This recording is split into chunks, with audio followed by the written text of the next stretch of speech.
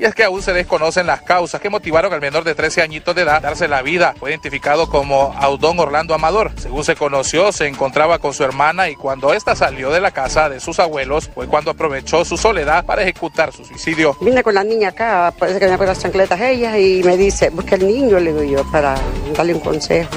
Entonces, lo buscó, no lo halló. Entonces él se a la puerta, mire dónde está mi hermano, dice, colgado. O sea, el niño había peleado, discutido, tenía... Sí, estuvieron peleando, y como los niños sin pelear. Sí, entre la hermana. Entre la hermana. Sí, y salió, se fue para la casa.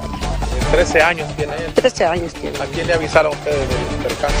Mm, iba mi marido a traer leña y lo llamé y mi- ay no, pobrecito, y se dormía como nieto, ¿verdad? Por parte de Marco Augusto Amador, padre del menor, explicó que apenas hace unos cuatro meses el niño se había venido a vivir con su madre. Bueno, ni modo, lo lamentamos, pero le duele a uno, pero hay que soportarlo, pedirle fuerzas a Dios, porque ni modo, ¿va? no, no pudimos hacer nada. Si yo hubiera estado cerca, de repente tal vez no hubiera pasado eso, pero eh, la vida es así y hay que... ¿Era depresivo su hijo?